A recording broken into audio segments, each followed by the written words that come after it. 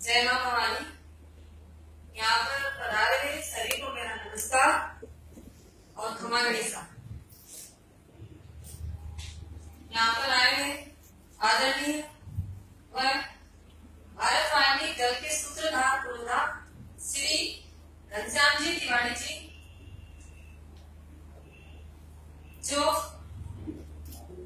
हमारे भारत वाहिनी पार्टी की सूत्रधार जिनका नेतृत्व कुशल उनका मैं हृदय से आभार व्यक्त करती हूँ, जिन्होंने मुझे इस दल से जोड़कर समाज की सेवा का सुअवसर प्रदान किया।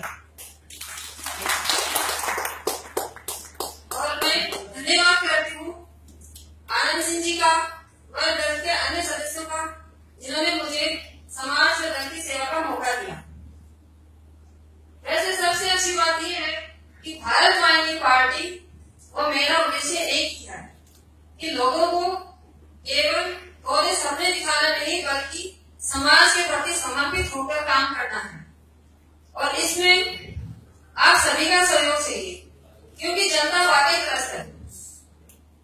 आज भ्रष्टाचार महँगाई कुशासन के मिटाने के नारे सभी पार्टियाँ देती रहती है लेकिन वैसा हम काम नहीं होता और आप सभी देखते हैं कि दो बड़ी पार्टियों के अलावा हमें अब तक कोई विकल्प सामने नज़र नहीं आ रहा लेकिन अब है भारत पार्टी। जो एक संघर्षशील पार्टी है और हमें, हम सबको मिलकर इसे जनता के नया और बेहतर विकल्प बनाना है। और सभी के साथ लेकर चलना है, सामाजिक समरसता के साथ चलना है, जैसे सर ने कहा था। और मेरा जो तिवारी जी के साथ जुड़ने का अवसर है, मेरा सौभाग्य है, क्योंकि स्वाभिमान